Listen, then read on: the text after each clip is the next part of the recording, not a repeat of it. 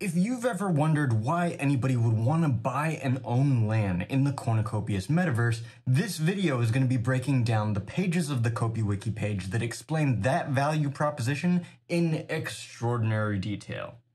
Let's talk about it. Welcome Late Game Crypto. My name is Josh, and I'm here to help you find digital liberty in the complex world of crypto. Remember that anything you hear in any of my videos is not to be taken as financial advice.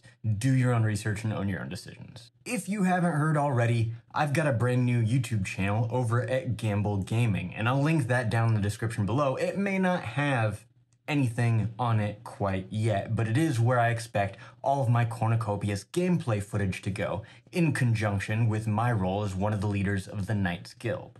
That channel is going to be much more focused on the gameplay aspects of Cornucopias, as well as occasionally some other games and maybe some tech related content too, to be more open and friendly to non Web3 gamers. If you're interested in that kind of content, like I said, I'll leave a link down in the description below. Feel free to subscribe. This has been an episode of the CopiWiki Breakdown series that I've got going on on this channel that I've been looking forward to doing for quite some time, but it's it's such a big topic that I thought it might be kind of difficult to cover in just one video. About a month ago, I did a video on the Cornucopias in-game economy that I would suggest you go check out or rewatch to refresh yourself on the context behind the real-world value that exists behind these digital assets that we're going to go ahead and break down right now. This short page on seasons in the CopiWiki page reveals a lot about the game while saying very little. In just a few really short sentences, we learn about the entire core framework of one of the major parts of the Cornucopias gameplay that will exist alongside things like racing and PvP and social aspects of the game. Across each of the themed zones, where you can own land plots that you can build on and farm on and produce resources on, time is going to be broken down into quarterly seasons that will have their own seasonal leaderboards attached to them that will basically facilitate some of the main competitive elements of the game. Each of these in game seasons will reflect the climate conditions of the real world that we see in spring, summer, autumn, and winter. So, not only will players be competing against each other by accumulating points in the various ways that that'll manifest itself, but players will also have to adapt to the changing conditions of each season in the game. This right here is one of the main ways that this game is going to stay new and interesting because the game is going to be constantly evolving, especially as new themed zones get released throughout the year. In the current roadmap for themed zones, there are 12 themed zones that are planned in the long term future of the Cornucopias metaverse, and each of these different zones will have different conditions, different resources, and different game mechanics that react differently to the seasonal changes that are going to come about in the beginning, we're just going to have three zones that are available. But as the game evolves and grows over time, there will be more zones that are available, and over time, more sectors that are available within those zones so that new districts can pop up and enter district competitions. But we'll get to that part in a second even the different sectors within the various themed zones might have different conditions that you'll have to adapt to if you own land within that sector. So, even if you're in a zone that might be known for its access to fertile soil, you probably won't be doing a lot of farming on your land if the sector that your land is placed on is kind of a a mountainous region that's kind of rocky and not really ideal to grow crops on.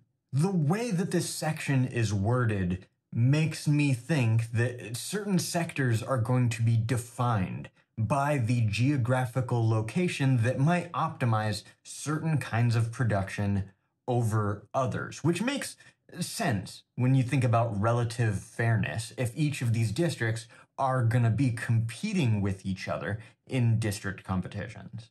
If you want to get a better feel for how each zone is characterized and what you can expect to find, I would recommend going to check out the Copi Wiki page at whatever time that you are watching this video because it will be updated and evolve over time as this game evolves. So whenever you decide to read that content, you'll have access to information that I might not currently have access to now at the time of recording this video. Okay, so quick big picture breakdown here. We're gonna zoom in and then we're gonna zoom way out. Landowners will own land plots within geographical locations called sectors. And each of the 12 zones will be comprised of about four or more sectors. So we're talking about a lot of different districts here that will have to work together as a team in order to move their collective district up on the leaderboard during seasonal competitions. The way that you join a district as a contributing team member is to either own a plot of land within that given district or you join as a citizen of that district under somebody that owns a plot of land that has a room to rent. I would say that this is half of the value proposition of owning a plot of land because if you own land, you are a gatekeeper for who gets to contribute to a given district as a citizen and reap the rewards that would come as a result of performing in that district. Fair warning for players, though. You don't get district rewards just by virtue of being a citizen of that district. Citizenship will give you exclusive access to quests that are available in that district, and it'll give you additional play and earn opportunities. But even if your district manages to make it to first place in that season's district competition, you do not get rewards if you didn't contribute anything to the points that were accumulated that season. You will receive rewards proportional to the amount that you contribute.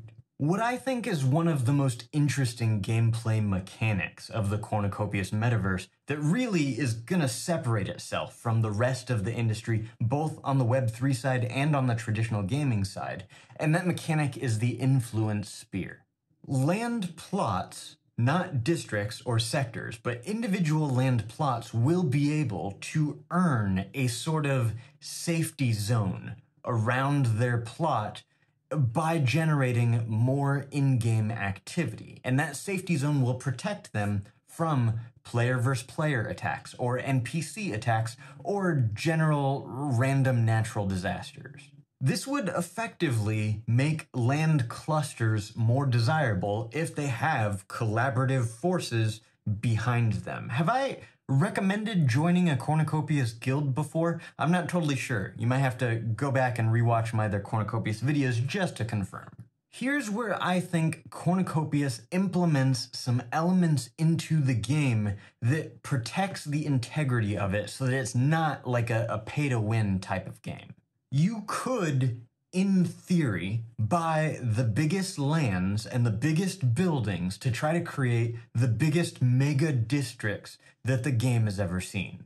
However, keep in mind that you will run the risk of overextending yourself if you cannot keep up with the maintenance costs that could result in buildings being destroyed if you don't keep up with them. It sounds like a very small and simple gameplay mechanic, but in reality, it adds a very deep layer of strategy and complexity that puts this game on a whole different level. There are consequences to expanding too big too fast, which means that you have to pay attention to in game markets to determine if certain industries, like maybe the hotel industry, is an oversaturated business in your district. Because if you're not making enough from your land to cover the upkeep of the structures, then you may have to spend more time just earning the in game currency in order to keep up with the structures that already aren't making enough money for you. I may have said this before in a different video, probably in a different context, but consequences are an important part of any healthy economy, and Cornucopias is really implementing those things in really unique and interesting ways. Here's where the other half of that value proposition for owning land in the Cornucopias metaverse comes in. Actually, this may very well be the primary value proposition of owning land. Just owning land in the Cornucopias metaverse is not going to be enough to make your land valuable. Even if you have land in the perfect location, in the highest scoring district, that produces the most valuable resources in the game, your land isn't really going to be very valuable if you haven't done anything to work on it and develop it. At the very beginning of the game, only land plot owners are going to be able to work on their own land. But even if you're able to build up your land to that minimum level that allows other players to come in and collaborate on building up that land with you, it still probably isn't going to be enough to produce the valuable resources that a very high level of land is going to be able to produce. I know that a lot of my viewers that watch all of my Cornucopias content are already a part of one of the major guilds in the community. But for those of you that are trying to go at it as an individual, just know that the way that Cornucopias is designing it is around community. It's around teamwork and it's around collaboration. So while you might be working on your own land with one set of individual hands, the guilds are going to be out there with a hundred sets of hands that are working on different plots of land that are leveling it up far faster than you ever would as an individual. So I urge you again, join a guild. So as we discussed, there is going to be risk involved in building too much on your land. But on the flip side of that, underdeveloped land is going to be outpaced by land that is developed. As funny as it is to say, your land is going to be more valuable the more friends you have in the community, which is fascinating, and I'm looking forward to it. If you enjoyed this video, be sure to hit that subscribe button and the bell notification so you don't miss any of my Cardano-based content every Tuesday and Thursday. As always, remember never to invest more than what you can afford to lose. Learn as much as you can about this space and play for the late game. Thanks so much for watching.